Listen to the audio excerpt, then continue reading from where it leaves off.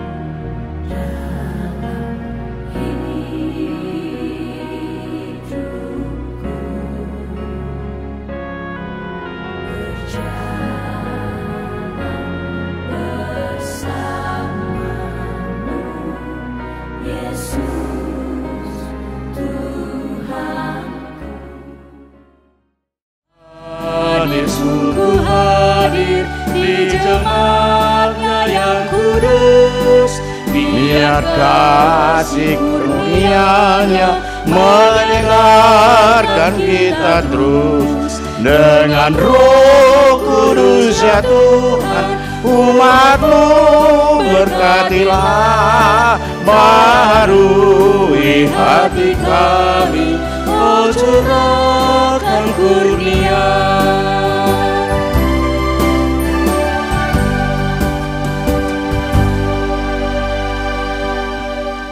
Di dalam nama Allah Bapa dan nama anaknya Tuhan Yesus Kristus dan nama Roh Kudus yang menciptakan langit dan bumi. Amin.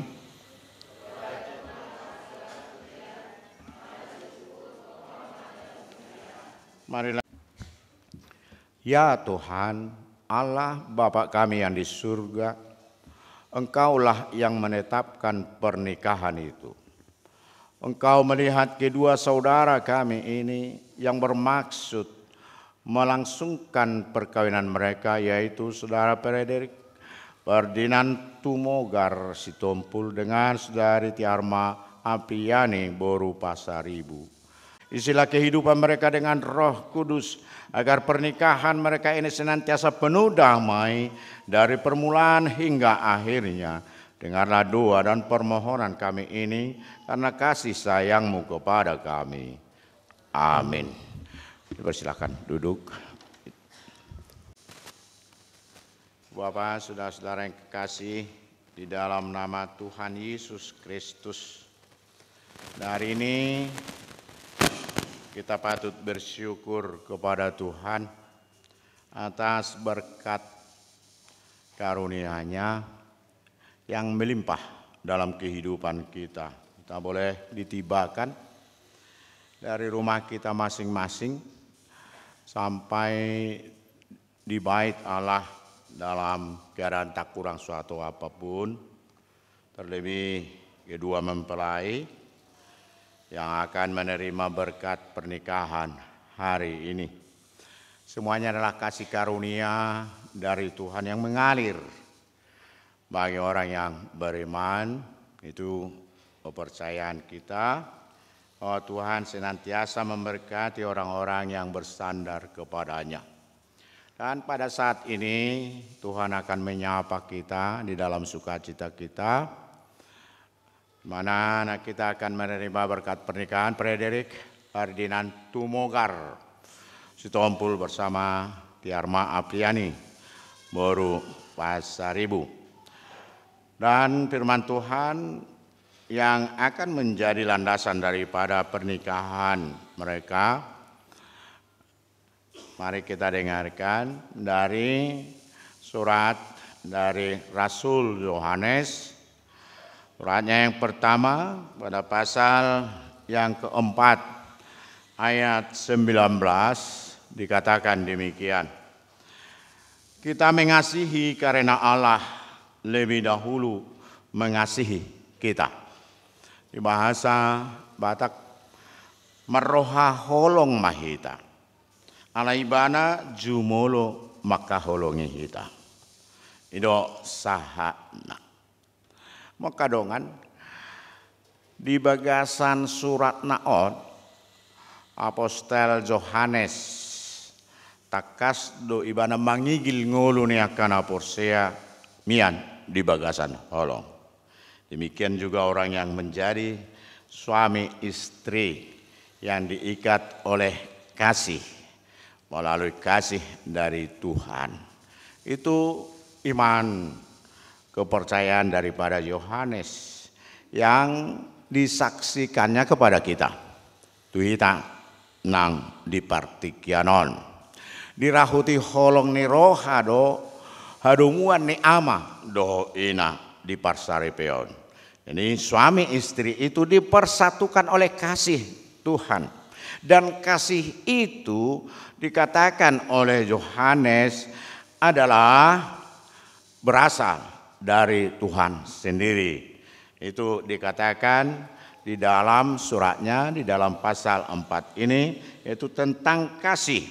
Sangat banyak dia memaparkan apakah kasih itu. Kasih itu adalah Allah sendiri. Itu yang dikatakan oleh Yohanes. Uh, katakan di bagasano do holong ni rohai darah hita maka holongi debata ibana do maka holongi hita jala disuruh do anak na bahen padengganan pasai hondo sata maka holongan anggo songoni holong ni rohani debata di hita tamama hita masih holongan dangdung adong halak marni de debata molo masih holongan hita mian ma debata di bagasan hita. Jalati pak maholong ni rohana di bagasan hita. Siano do taboto hita mian di bagasan ibana jala ibana di bagasan hita. Ala naung nile honnai tu hita sian todinai jadi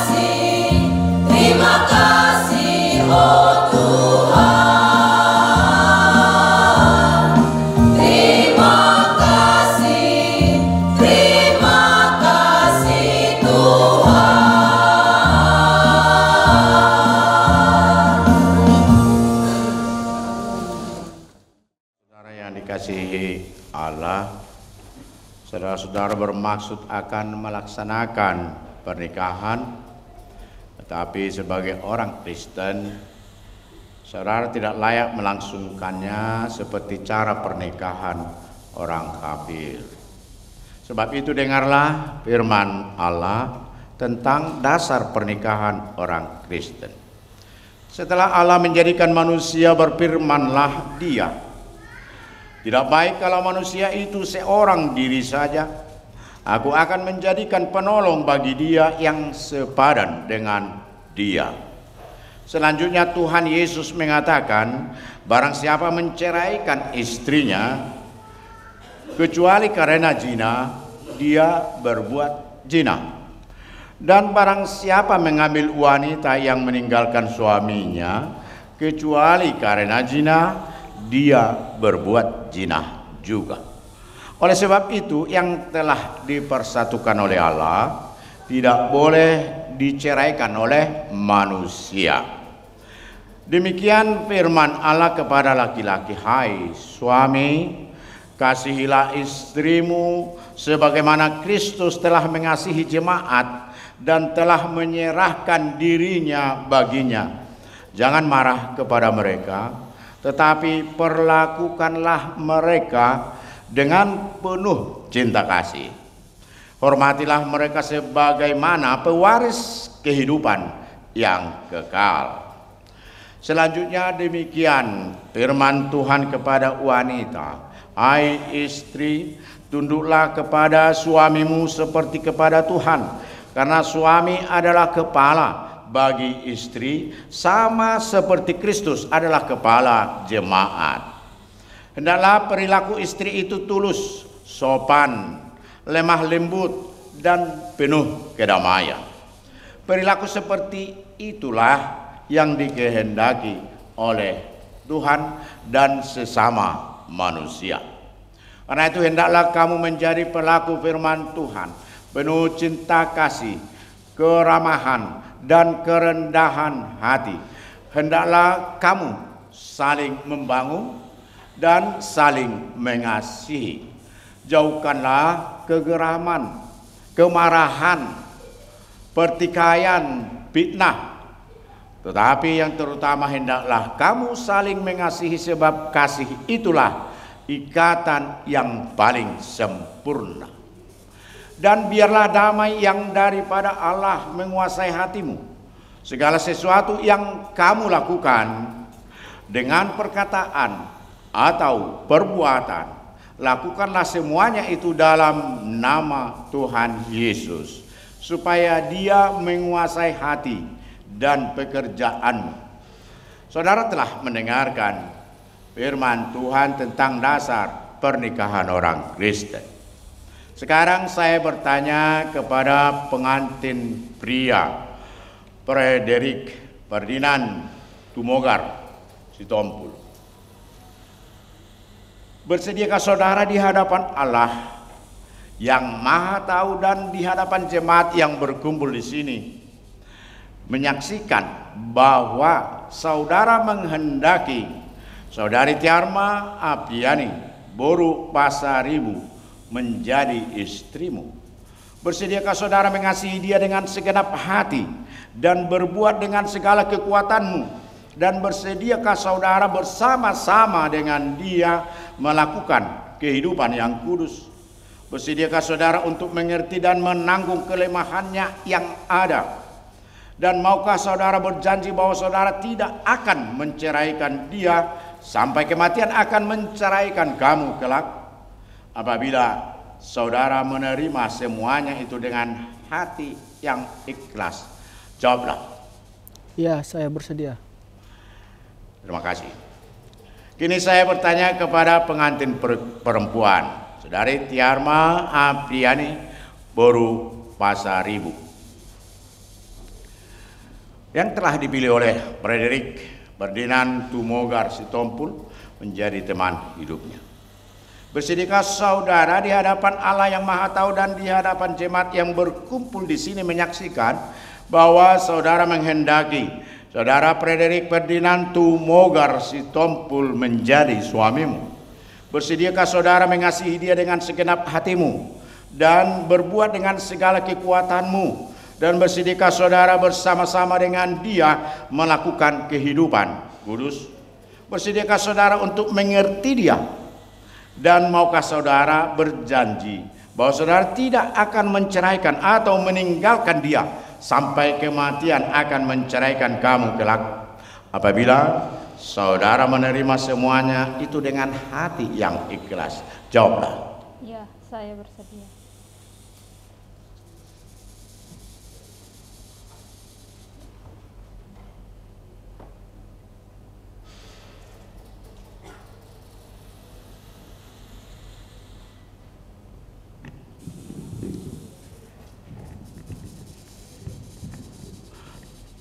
Dipersilakan saudara berdua berhadapan dan saling berjabat tangan sebagai tanda perjanjian saudara akan saling mengasihi.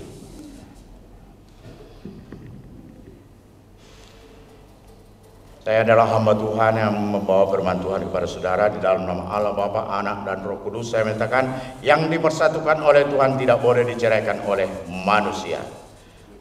Amin. Terimalah berkat Tuhan. Silakan, pegang dulu ini. Ya.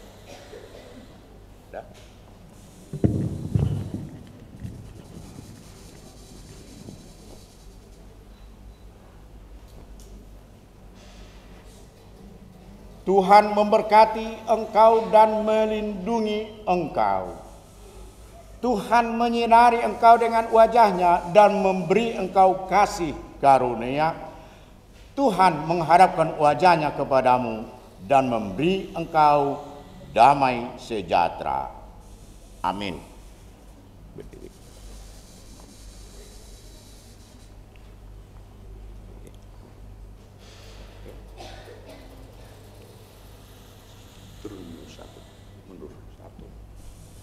Ya, Eh, saudara berdua telah resmi sah menjadi suami dan istri melalui berkat dari Tuhan. Gereja kita bersuka cita atas eh, pemberkatan ini dan menerima saudara berdua menjadi keluarga di tengah-tengah gereja ini. Sebagai tanda sukacita dari gereja akan memberikan cenderamata pernikahan yaitu Alkitab, eh, firman Tuhan, kumpulan firman Tuhan yang adalah landasan kehidupan orang percaya, orang beriman. Silakan. Gereja memberikan bingkisan sebuah Alkitab yang isinya tetaplah kalian menjadi rumah tangga yang baik. Inilah lambang cinta kasih sebagai umat Kristen. Jadilah keluarga yang kepada Masih, Tuhan. Ya, ya kiranya berbahagia. Udah diterima, mari sini dulu. Karena kita akan melanjutkan acara ini dengan acara untuk uh, permisi kepada orang tua atau sungkem.